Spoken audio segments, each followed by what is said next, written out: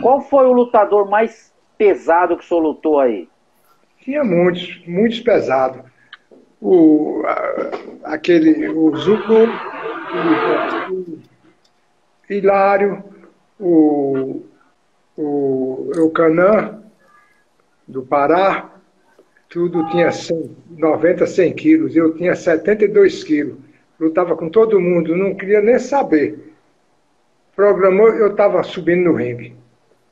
Mestre, e qual foi, na sua opinião, qual foi a sua luta mais difícil? A minha luta mais difícil mesmo, para mim falar, teve duas lutas difíceis. Foi a do Cássio, que eu respeitei muito, mas eu venci. E a do Zulu aqui em Brasília, que ele me machucou muito. Eu não tinha noção como é que fazia a luta, acho que não tinha um, um segundo competente para me orientar, que era para fazer a luta mais agarrada, né? levar ele para o chão, que ele é fraco do, de chão.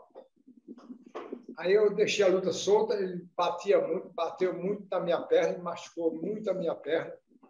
Quase eu fui, mas eu resisti e ele me deu um estrangulamento, eu saí. Esse mesmo estrangulamento eu também peguei ele e fiz ele bater no estrangulamento. Chama-se guilhotina de frente, né? Peguei na guilhotina, aí fiz ele, o negão bater. Foi a primeira, foi a primeira derrota do Zulu, não foi isso? Foi.